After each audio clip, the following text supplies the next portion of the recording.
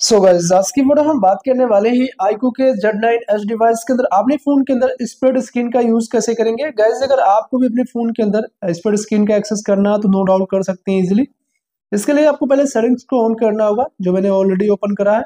Scroll करके इसमें नीचे आना। शॉर्टकट एंड एक्सेसबिलिटी पे क्लिक करना है। पहला ऑप्शन मिलेगा स्प्रेड स्क्रीन इसको प्रेस करना है। इसमें फोर भी मिलते हैं स्क्रीन को स्प्लिट करने का लाइक फाइव वे हैं। थ्री फिंगर से कर सकते हैं बैकग्राउंड ऐप से कर सकते हैं। कंट्रोल सेंटर से भी कर सकते हैं, यहाँ पर साइड बार से भी कर सकते हैं एंड यहाँ मैसेज आइकन से भी आप स्प्लिट कर सकते हैं। तो सबको ऑन करना, इसका एक डेमो भी करके आपको दिखाता हूँ। ये थ्री फिंगर को भी इनेबल कर लेना रिकमेंडेड स्प्लिट स्क्रीन एप्स है, इसको भी इनेबल करेंगे। सबको ऑन कर लेना। अब इसका एक छोटा सा डेमो दिखाता हूँ।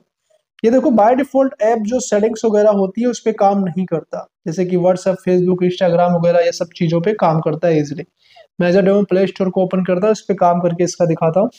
अगर हम स्वाइप डाउन करते हैं स्क्रीन होगा। देखो स्क्रीन कैप्चर हुआ। थ्री फिंगर को स्वाइप अप करना है ऊपर करना। है जैसे ऊपर करेंगे, हमारा स्क्रीन डिवाइड हो जाएगा दो स्क्रीन के अंदर। ऊपर तुम्हारा प्ले स्टोर रन कर रहा है। नीचे चाहो तो मैं ट्विटर यूज़ कर सकते हैं, या फिर जितना जितने भी ऑप्शंस आ रहे हैं, इन दोनों का देख सकते हो। दोनों डिस्प्ले अलग अलग तरीके से काम कर रही है।